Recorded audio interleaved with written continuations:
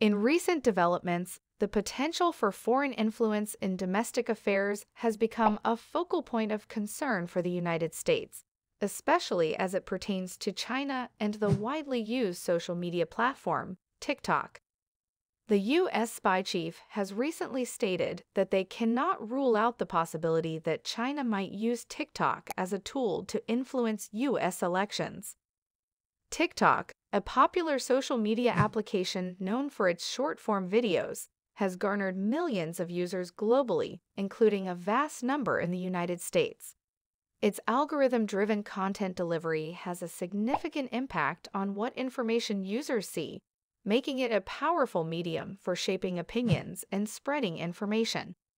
The U.S. intelligence community has raised concerns regarding the potential misuse of TikTok by foreign entities. Given that ByteDance, a Chinese company, owns TikTok, there are fears that the Chinese government could leverage the platform to hmm. disseminate propaganda, spread misinformation, or influence public opinion in the lead up to elections. The concerns are amplified by China's track record of internet censorship and information control within its borders. In response to these concerns, U.S. lawmakers have been considering measures to mitigate the risks associated with TikTok. This includes potential legislation to restrict or monitor the app's operations in the U.S.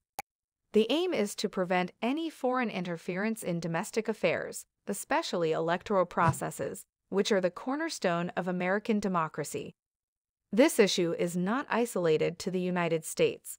Other countries have also scrutinized TikTok for similar reasons.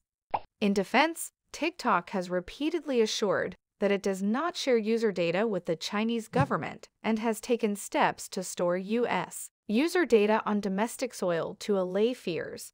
Despite these assurances, skepticism remains among U.S. officials and lawmakers. The discourse around TikTok and potential foreign influence in U.S. elections underscores the broader concerns regarding cybersecurity, data privacy, and the integrity of democratic institutions. As social media continues to play a pivotal role in shaping public discourse, the need for robust cybersecurity measures and international cooperation to combat misinformation becomes increasingly crucial. The U.S. spy chief statement reflects growing apprehensions about the role of foreign powers in American politics, particularly through platforms like TikTok. As the U.S. moves closer to future elections, ensuring the security and integrity of its democratic processes remains a top priority.